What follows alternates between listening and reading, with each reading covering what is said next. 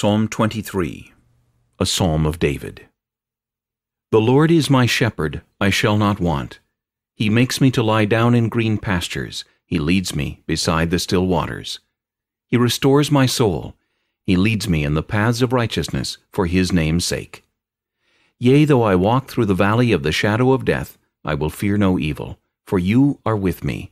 Your rod and your staff, they comfort me. You prepare a table before me in the presence of my enemies. You anoint my head with oil. My cup runs over.